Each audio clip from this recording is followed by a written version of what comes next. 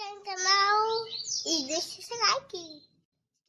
Galera, beleza? Olá, como é que tá o tempo hoje, galera? Chuva e ventania. Pois é, em meio à chuva e ventania eu venho passar um vídeo aí para vocês, uma dica. É, que eu acho necessário, porque eu peguei agora meu celular dei uma olhada em um grupo e tava muito assunto sobre a questão do ovo, né? Ovo é, entalado aí, o ovo que não sai, ah, o ovo tá, tá cruzado, tá não sei o que a fêmea não consegue pôr o ovo para fora. Então eu vi que as dúvidas do pessoal que estava no grupo, elas realmente existem, né? Eles estavam comentando muito sobre aquela coisa do das pessoas passar vídeo ensinando como tirar o ovo, né, que está atravessado e não explica por que que fica daquele jeito, o que que causa aquilo, como identificar. E muitas pessoas me perguntando, e ao invés de eu responder a cada um deles, eu vou fazer um vídeo e aí já responde a todo mundo. Beleza? Só que eu vou gravar como identificar é, o que causa né, esse tipo de coisa. Depois eu vou mostrar para vocês dois procedimentos que eu acredito que sejam dois procedimentos bons. Né? Inclusive, muita gente já passou essas dicas aí, mas em alguns pontos eu vejo que eles não deixaram passar alguns detalhes, beleza? Então eu vou tentar não deixar passar esses detalhes. Peço para que todos vocês assistam o vídeo até o final. É claro que meus vídeos são muito longos, mas vale a pena assistir, beleza, pessoal? Vou deixar uma propagandazinha aqui, né? uma vinhetazinha aí com os amigos né? e os parceiros. Depois eu volto. Só que é o seguinte, eu não vou gravar em vídeo, eu vou gravar em áudio. Meu celular está com a, a memória muito pouca, né? tem muita coisa que eu ainda não posso apagar, beleza? Lembramos também que além dessas duas dicas que eu vou passar para vocês, de como ajudar a fêmea para retirar esse ovo atravessado, quero deixar bem claro que eu já vi muitas outras coisas, né?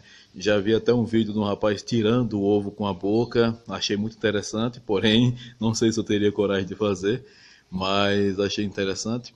Também já fiz uma, um procedimento que usa meia. Põe a fêmea na meia, gira 10 vezes para um lado, 10 vezes para o outro, dá descanso. 10 vezes para um lado, 10 vezes para o outro, dá descanso. Faz isso três vezes, depois coloca a fêmea de volta na gaiola.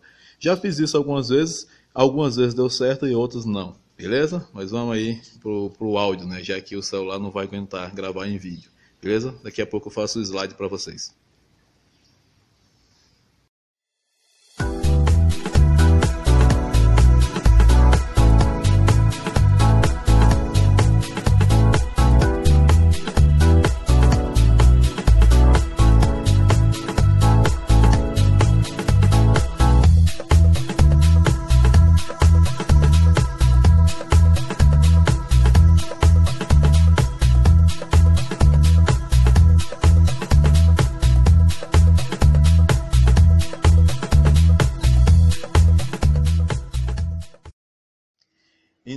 Rapaziada, vamos lá.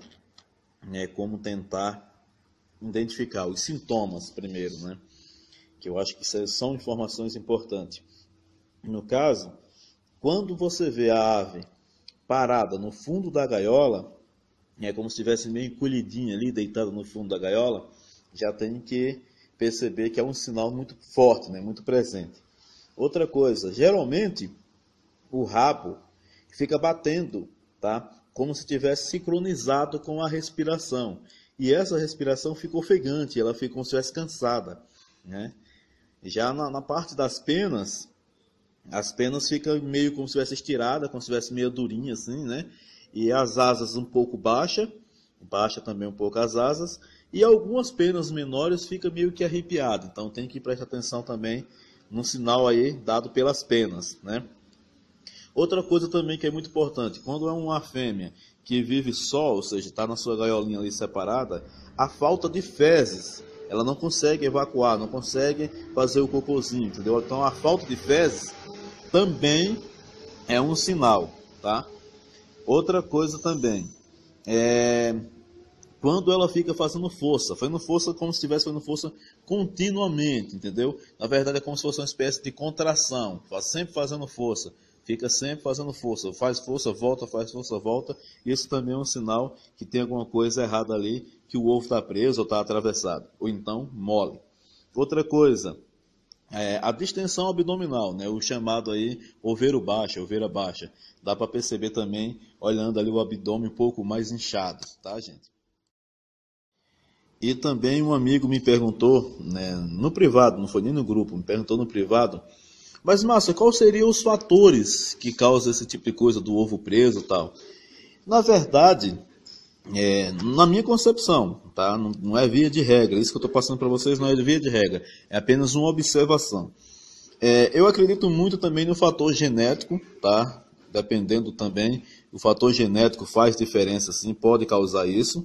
Uma má alimentação, ou seja, uma alimentação que não é rica em nutrientes, né, vitaminas, minerais e etc e tal, também pode estar causando esse tipo de coisa.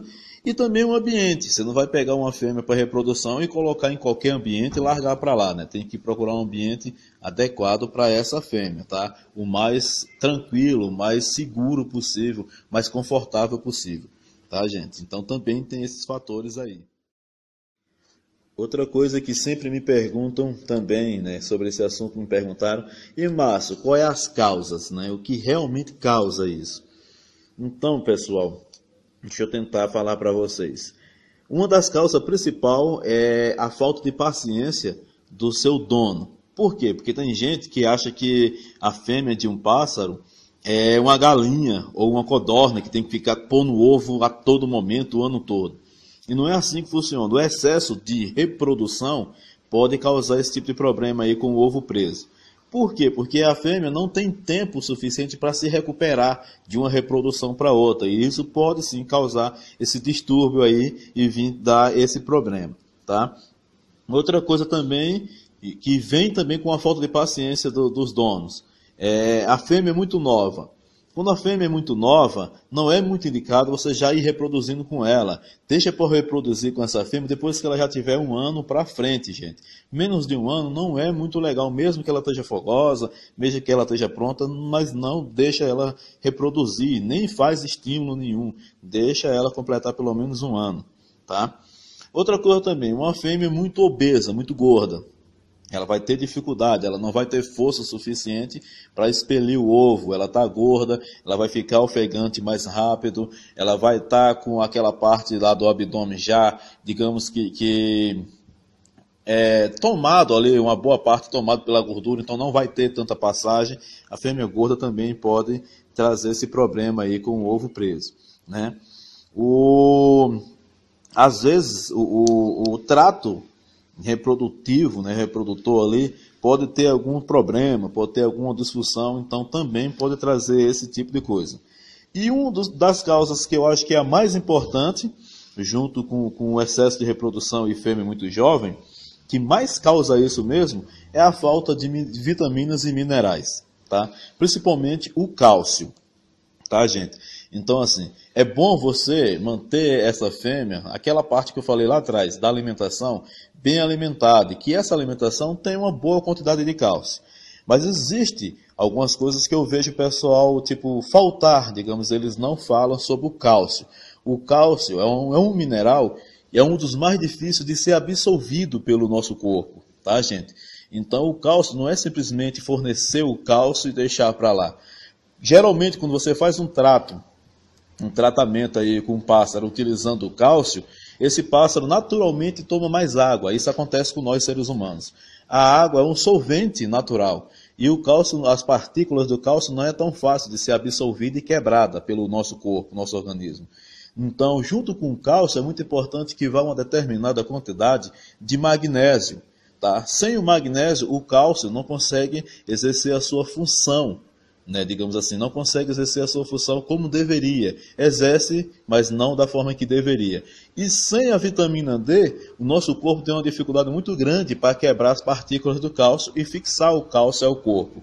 Então, junto com o cálcio, é muito importante também o uso do magnésio e da vitamina D, tá, gente? Para que o cálcio faça a sua função, exerça a sua função. Não é apenas fornecer o cálcio. Existe, é claro, aqueles polivitamínicos onde você vai compra e coloca na água ali para dar uma reforçada, ou até mesmo um pozinho que mistura na alimentação, dá uma reforçada com cálcio. É muito importante, mas você vai ver que na maioria tem essas duas vitaminas, a D e o magnésio junto com o cálcio. tá? porque o pessoal sabe que o cálcio não é tão fácil para ser absorvido, né? nem no nosso corpo, nem no corpo de nenhum ser, ser vivo. Então existe essa necessidade, né? A vitamina D você é, é, absorve facilmente tomando banhozinho de sol, né? Estando exposto ao sol. O magnésio também, alguns alimentos também vai ter bastante magnésio.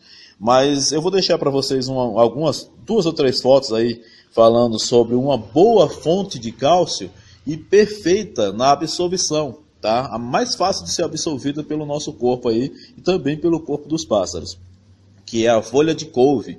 Eu sempre forneço uma vez por semana uma folhinha de couve com um pedacinho de talo. Claro que não é a folha inteira, né, gente? Eu divido para dois, três pássaros.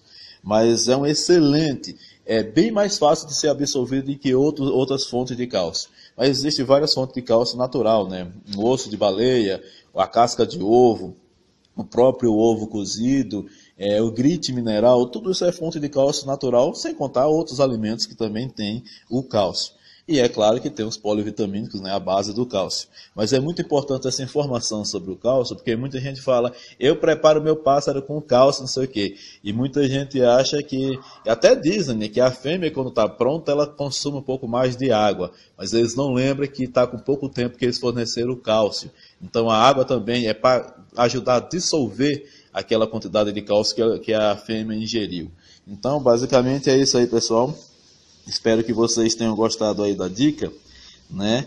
E vou deixar vocês com alguns vídeos aí mostrando, né, mostrando aí como fazer é, duas dicas legais aí como fazer para você ajudar a sua fêmea a, a é, repelir esse ovo, né, tirar esse ovo, pôr para fora esse ovo que está preso.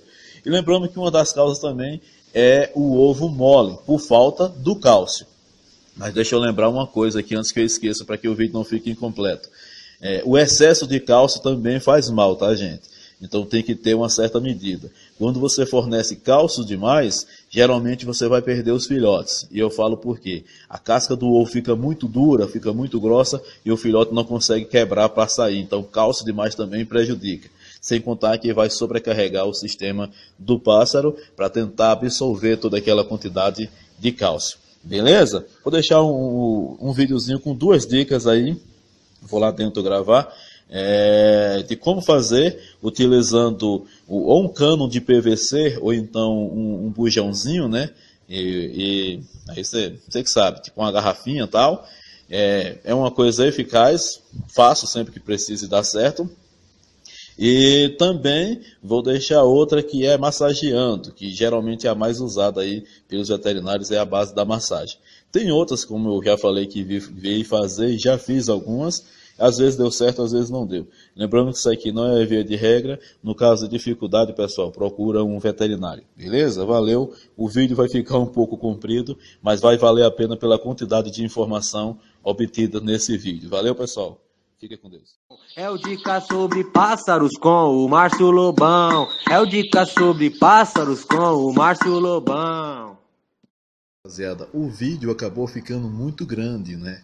E para que não fique aquela coisa muito chata, eu dividi em duas partes, né? A primeira parte aí que vem com os sintomas, fatores e causa, para que você é, seja mais fácil você identificar o que está causando e os sintomas, né? A identificação e o outro vai vir com um procedimento, com dois procedimentos, na verdade, é, mostrando como fazer para tentar tirar esse ovo que está preso.